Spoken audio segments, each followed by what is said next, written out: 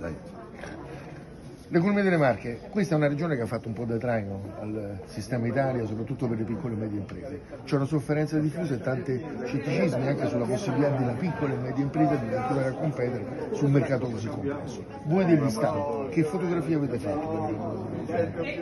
Beh, come sempre anche come Stato non facciamo foto, facciamo filmati, nel senso di capire la dinamica del tempo. Abbiamo fatto due rapporti sulle marche e il secondo lo stiamo presentando proprio in questi giorni, da dove emerge un dato di fondo. Io li ho chiamati due bradisismi paralleli e divergenti. Complessa la cosa. Beh, Aldo Moro parlò di Esatto. convergenze parallele, parallele. queste invece sono parallele e divergenti.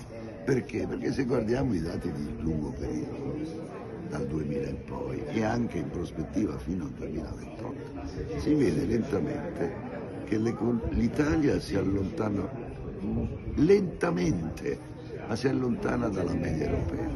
Le Marche lentamente si allontanano dalla media italiana, ecco perché parlo di due bradisismi. Ok.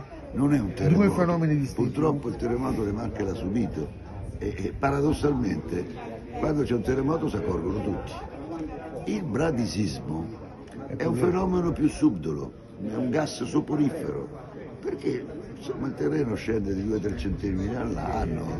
Tu non hai la percezione, Non la percezione dell'emergenza, ma se fai la, la somma di 20 anni, dopo 20 anni sei sceso di un metro Certo. ecco, e l'acqua ti arriva magari fino a qua.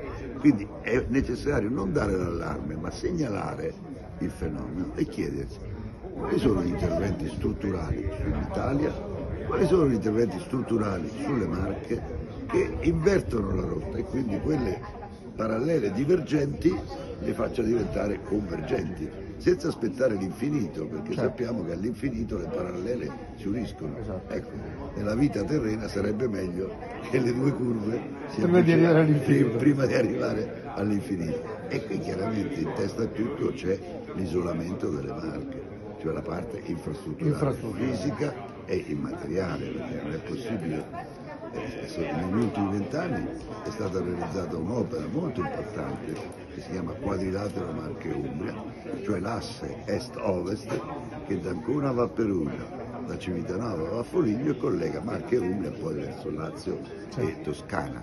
Ma non si può fare un'opera ogni 20 anni. Nella nostra proposta abbiamo detto 5 mosse per portare le Marche nel XXI secolo. Si tratta di fare una quadrilatero all'anno per i prossimi 10 anni, non una ogni 20 anni. Beh, allora l'auspicio è che lo facciate anche per altre regioni.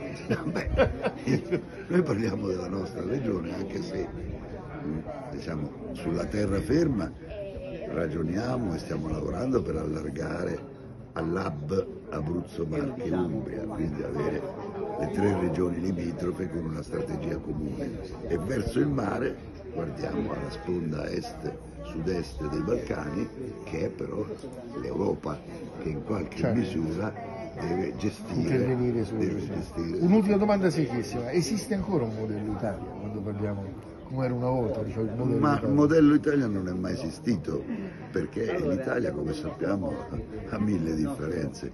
È esistito il modello, la via adriatica allo sviluppo, è esistito il modello Veneto, all'inizio il triangolo industriale, Torino, Milano, Genova. Questi sono modelli un po' diversi, però il problema è nella compatibilità col territorio, quale modello costruire di crescita, sviluppo e benessere per tutti i cittadini, questo è il problema, che stiano a nord, che stiano a sud, che stiano ad est, che stiano ad ovest.